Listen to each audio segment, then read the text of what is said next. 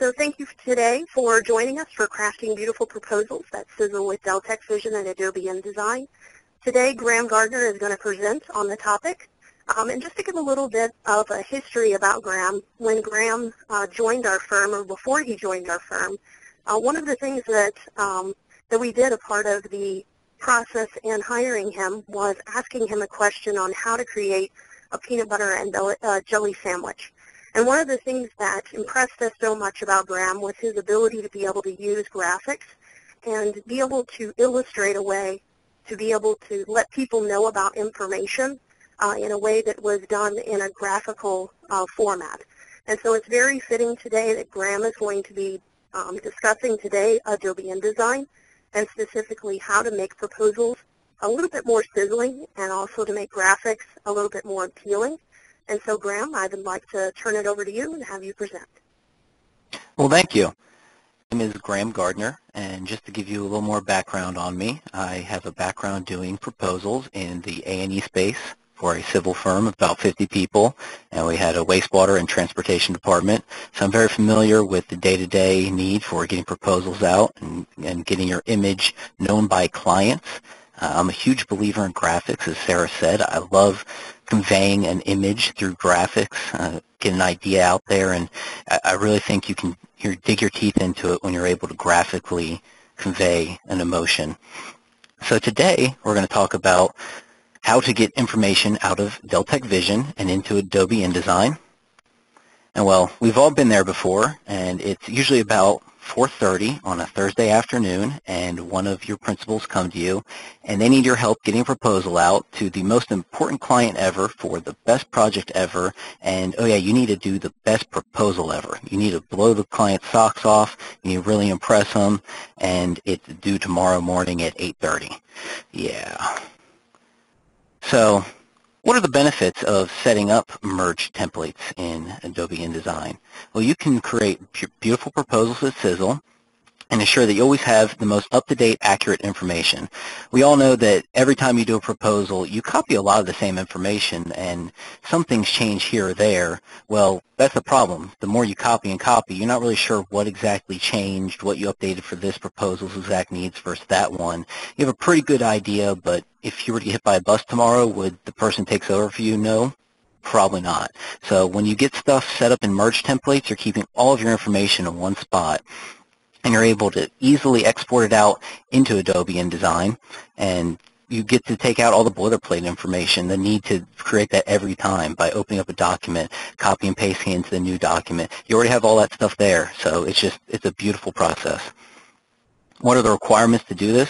Well, you need to be running Adobe InDesign CS 5.5 or newer. Yes, the cloud version does work. It needs to be installed on your local user directory. That means it needs to be installed on your computer, not on the server. You need to be running Deltek Vision 7.1 or newer with TDM enabled.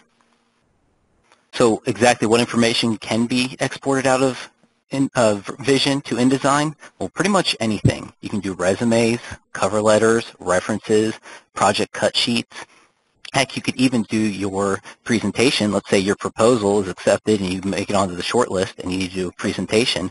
Well, you can do that through this same method. This presentation right here was created in, in, InDesign. So let's say I had wanted a bunch of information that was in our vision system to go into this. I easily could have exported this into this presentation, and that there saves you a bunch of time.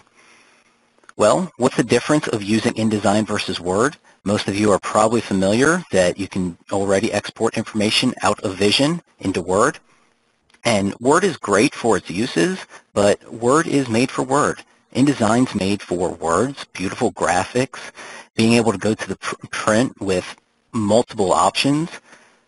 It's just a different ballgame when you're talking InDesign. But with that said, sometimes a, a, proposal doesn't need all the glam that comes with InDesign. Sometimes you just need a simple proposal. It's not graphic intensive, and you just need to get it out the door. In that case, if Word's the best option, then go with Word. The name of the game is winning work, not using the most up-to-date, greatest software. If you can win work using a pad and paper and pen, then hey, more power to you.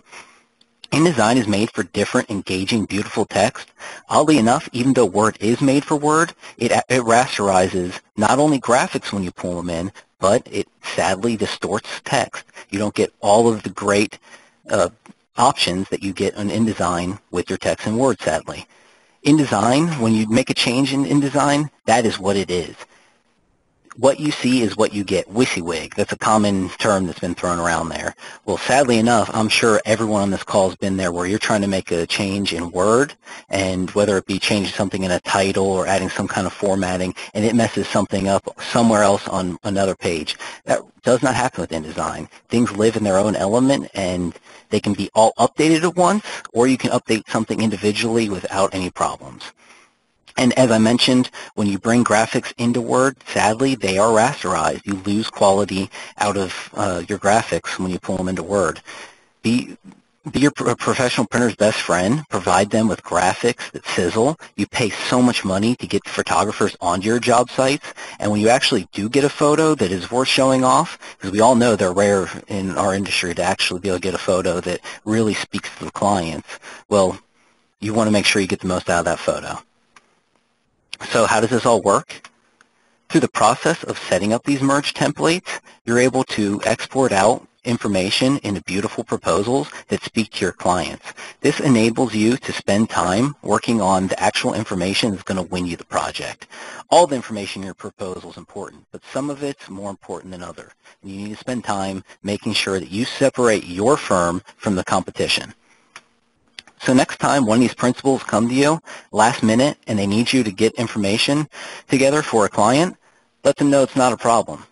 Because you're going to go back to your desk, pull Deltek Vision, pull out your easy button, press it, and bam, you've got a beautiful proposal ready to go. And now you can concentrate on knocking the science clocks, knocking the science, the client's socks off, that's a tongue twister, and provide them with a proposal that really speaks to them don't worry about just getting all the requirements of the proposal. That, that's the easy part. Think about how you can separate yourself from the competition. And once you get that answer, let us know because that's a hard one. So let's actually dive into how to do this. That's kind of a more big picture